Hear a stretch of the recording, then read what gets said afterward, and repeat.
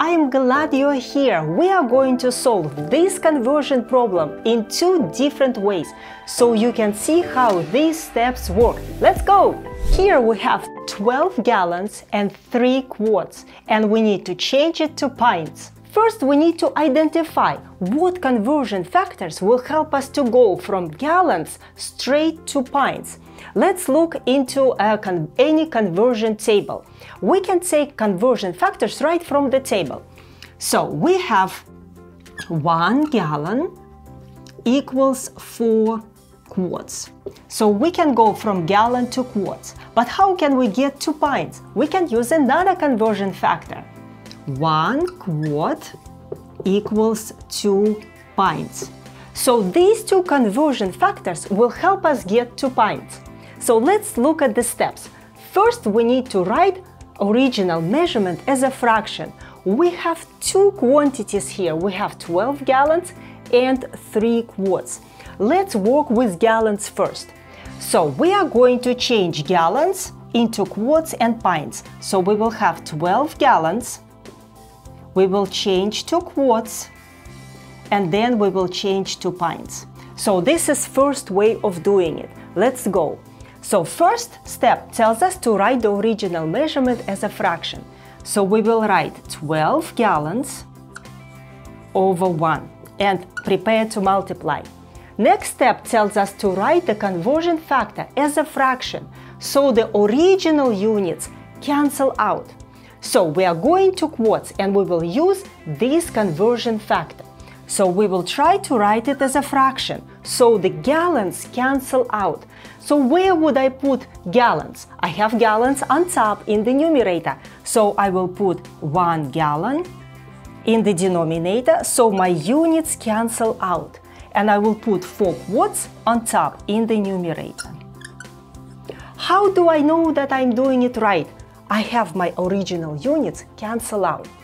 Now, I am with quarts and I need to get to pints. So I need to repeat this step with other conversion factor so I can get to my desired unit, to pints.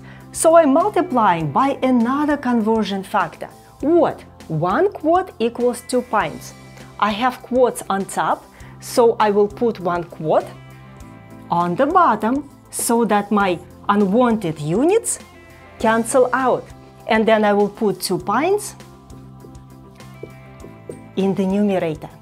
Now, look, we got rid of gallons, we got rid of quarts, and we are left with pints. So we're changing 12 gallons directly to pints. Now we can do the math. Now we multiply and simplify. So 12 times 4 times 2. So 12 times 4 times 2. That's my calculator. We will have 96 pints over 1 times 1 times 1 is 1, so we will have 96 pints. So we changed 12 gallons to 96 pints. Now let's work on our second quantity, 3 quarts, and we will do the same thing. So we have 3 quarts, we will write it over 1 times, because we write the original measurement as a fraction. Then we pick up our conversion factor, 1 quart equals 2 pints. So we will write it. Help me out. You have quarts on top, right? Where would you put quarts here? You will put it on the bottom in the denominator, right? So that your original units cancel out, right? That's how you know you know that you're doing right because you want your units to cancel out. And you will put 2 pints right here. All you do, you take your conversion factor and plug in plugged in here so you cancel out your unwanted units. Now, we got rid of quarts and we got two pints. Now we stop and do the math. So, 3 times 2 is 6, 6 pints, over 1 times 1 is 1, so we have 6 pints. Okay, now what do we do? We started with 12 gallons and 3 quarts we changed each quantity into pints. Now we just need to add them together. Let's go, now it's easy. So 96 pints plus 6 pints, we have 102 pints, right? So that's our answer, 12 gallons and 3 quarts equal 102 pints. So you see this step took us two conversion factor. Two conversion factors. Now let's look at another way of doing it. Let's go. Now this is a second way of doing it and you may like it more. We are going to change gallons into quarts. Then we are gonna add our three quarts to get the total number of quarts and then we will change the quarts into pints. Let's do it. So we are going to take 12 gallons and change it to quarts. Alright, so what do we do? Help me out. Write the original measurement as a fraction. So we will write 12 gallons over 1 times. And we're gonna take the conversion factor, right? Write it as a fraction to cancel our original units. Now you know from our first way of doing it, right? So I have gallons on top. I will put 1 gallon on the bottom, right? I put it right here to cancel my original units. Let's cancel and feel good about it. And then we will put 4 quarts on top in the numerator, right? So gallons are gone, we are left with quarts and that's what we are trying to do.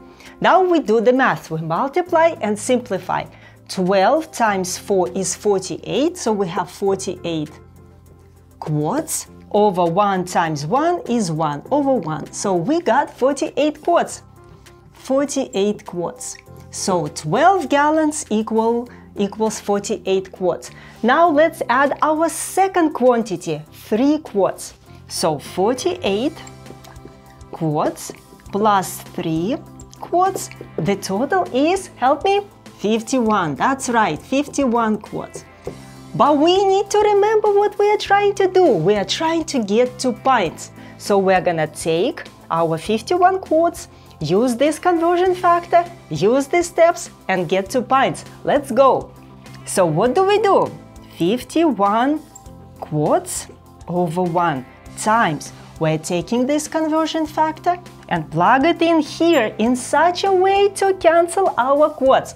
So uh, one quart, I put it on the bottom, right? Because I have it on top. My original units on top, we cancel out. Oh, it feels so good to cancel out. How do we know we're on the right track? Because we canceled our unwanted units. And I'll put two pints right here. Two pints. Oh, it feels good when you get the right answer. It feels good for me too. So now we do the math.